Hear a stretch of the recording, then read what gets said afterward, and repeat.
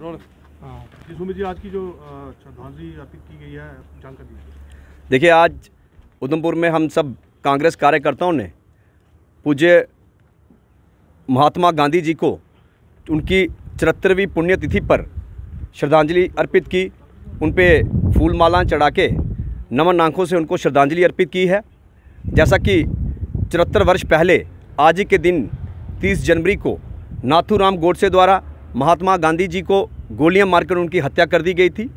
और आज ही का दिन पूरे देश भर में शहीद दिवस के नाम पे लोग मनाते हैं।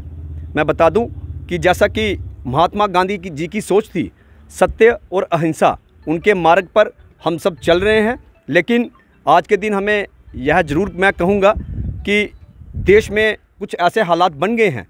कि महात्मा गांधी जी के जो मार्ग पर बताए जाने की बातें थी, कुछ लोग उनकी बातों से हटकर देश में हिंसा फैलाने का काम कर रहे हैं। मैं कहूँ कि जाति धर्म की बात करें, हिंदू मुस्लिम की बात करें, मंदिर मस्जिद की राजनीति लेके जो देश में हो रहा है, मुझे लगता है यह महात्मा गांधी जी ने कदापि नहीं सिखाया था, लेकिन हम यह ज़रूर कहेंगे कि बेशक महात्मा गांधी जी हमारे बीच में ना रहे हों, लेकिन उनके बताए हुए मार्ग पे हम सब लोग चल रहे हैं और पूरे देश ही नहीं, बल्कि दुनिया भर में